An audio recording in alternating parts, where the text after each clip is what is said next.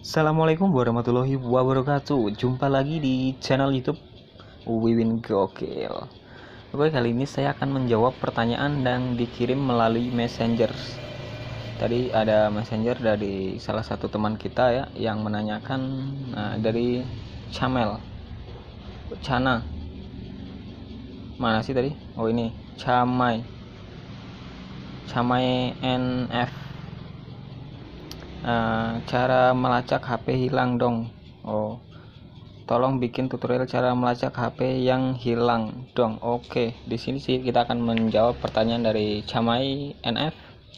Bagaimana caranya? Yang pertama kita install aplikasi yang bernama Cari Perangkat ini aplikasinya ya. Ini adalah aplikasi cari perangkat untuk mendeteksi di mana letak perangkat kita melalui GPS. Ya, yang harus di eh, dipenuhi persyaratannya HP terinstall dengan aplikasi pencarian perangkat. Yang kedua, GPS ini ya, lokasi harus diaktifkan. Jika sudah kita tinggal buka aplikasinya lalu login. Nah, di sini saya menggunakan email saya ya, Wiwin Gokil. Kita lanjutkan masukkan kata sandi. Contoh kita masukkan kata sandi. Oh ya mungkin ada yang bertanya bagaimana jika HP sudah hilang namun belum sempat menginstal aplikasi ini? Mungkin ada sebagian yang seperti itu ya. Oke sebelum itu jangan masuk dulu ya. Contohnya ini aplikasi ini kita hapus dan kita anggap handphone saya ini hilang dan nggak tahu dicuri siapa Nah, bagaimana cara melacaknya? Kita cukup pinjam ponsel teman kita lalu kita buka Google. Anggap ini handphone teman kita ya. Kita buka Google lalu di sini kita ketikkan cari perangkat.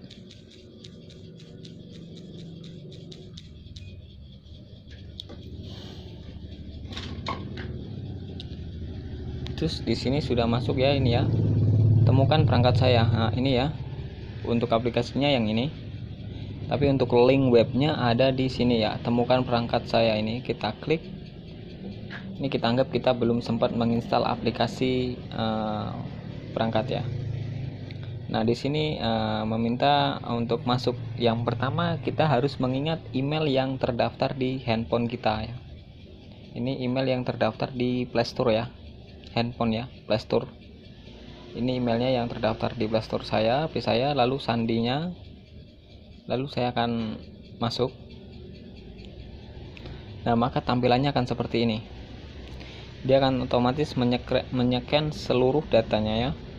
Di sini saya menggunakan Oppo A1601 yang lebih dikenal dengan Oppo F1s ya baterai saya 71% sesuai dengan di sini 71% Oke, dan perangkat saya sedang terhubung dengan WiFi Putra Sumatera ya. Ini WiFi saya.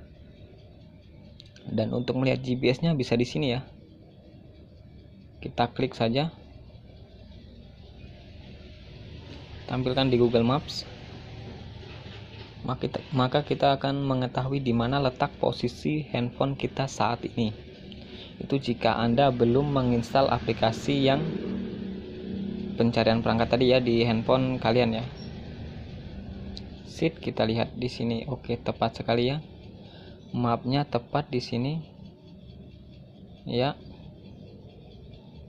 Oke saya sedang berada di uh, fotokopi Putra Sumatera ya. Dan sebelah toko saya itu ada Aji Sel ya bisa dilihat dia sedang berada di posisi sini ya. Jadi kita akan sangat mudah mencari perangkatnya ya. Dengan menggunakan link ini jika anda tidak ingin eh jika anda belum menginstal belum sempat menginstal aplikasi tersebut di ponsel anda. Dan jadi sangat mudah ya.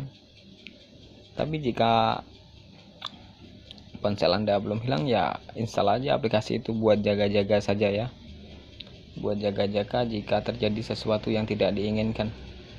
Dan ini kalau mau menemukan tinggal anda menuju ke sana lalu anda klik di sini. Biasanya kalau terhubung dengan jaringan apa apa itu ya di sini akan ini akan muncul. Kayak seperti saya kan Putra Sumatera. Kita klik maka handphone akan otomatis bunyi biasanya